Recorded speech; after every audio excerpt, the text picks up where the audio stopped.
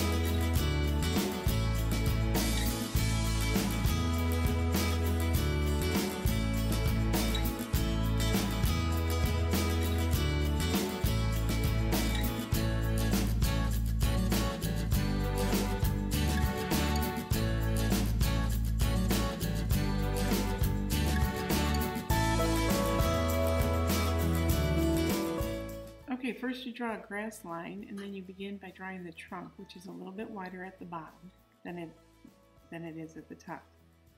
You can just draw a branch right off the side or you can go straight up and bend the line.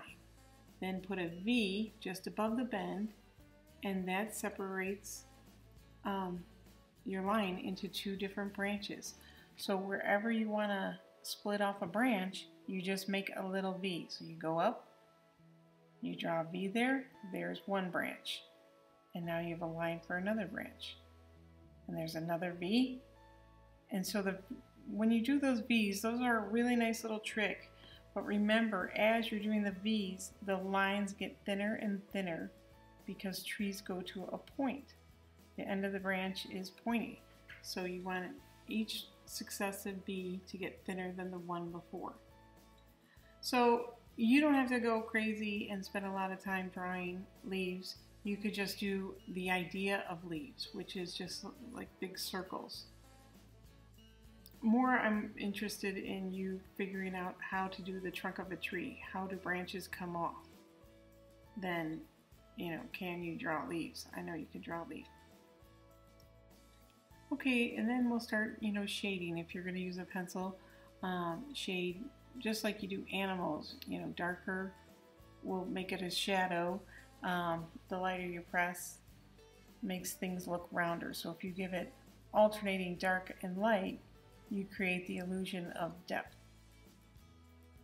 So when you're doing your shading on a tree, uh, the darker parts obviously are going to be at the bottom of the branch or at the side of the tree that's away from the sun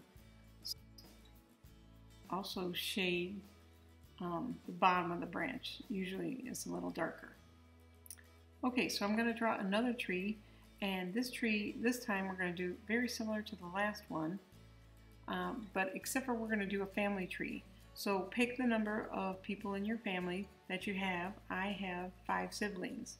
So I am going to draw six branches, and I'll be using uh, that little V trick so that I can get all my branches. Okay, so as I get all my branches done, I'm going to start uh, my shading process. And then in each branch, I'll write the name of one of my siblings. And I'll continue to shade as I go along. So this is going to be a family tree. So the siblings' names are all going to go in the branches. And then my mom and dad's name is going to go actually on the tree. So there they are. My, my parents' names were Pat and Frank. Okay, so then I can draw some little twigs to make the tree look more realistic. Okay, so I'm just shading in my tree and I'm putting in some roots and in the roots I can write different things like what um, gives my family strong roots. And you could put like family, friendships, your school, SMO. Write down whatever you think, you know, keep, gives your family a lot of strength because your roots matter. Where you come from matters. I'd like to thank Carolyn Sutoris for supplying me with all these beautiful pictures of these trees. She actually planted most of the ones that were seen in this film. Thanks for drawing with me, and remember, it's a great day to be a knight.